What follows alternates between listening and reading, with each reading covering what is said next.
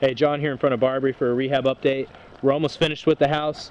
We've got the interior painted. We repainted the interior because they had they had freshly painted the inside before, but they had only went around and touched up spots with semi-gloss paint over flat. So we decided to go ahead and repaint the whole thing.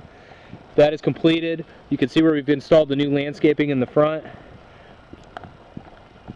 Let's walk in and check it out. Might be kind of hard to tell. If you remember, we did some patchwork above the fireplace. That's all done. Front left bedroom. Coming through the dining room to the main hallway.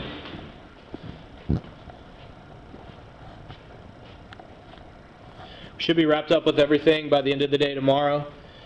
And we've got our cleaning scheduled for first thing Wednesday morning. Hall bathroom.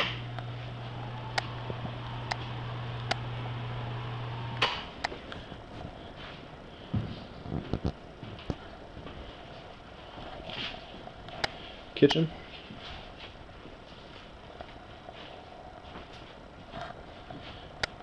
And this is the spare bathroom.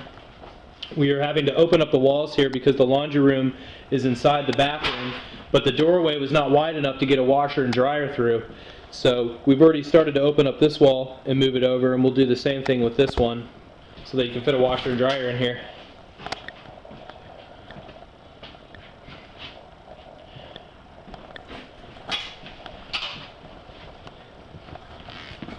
And then we're just removing some items from the backyard.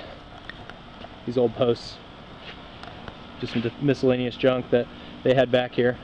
So by the next update video, which I'll do at the end of the week, the house will be completed, totally ready to rent out, and I'll do a final walkthrough video, walking around showing everything once the house is finished.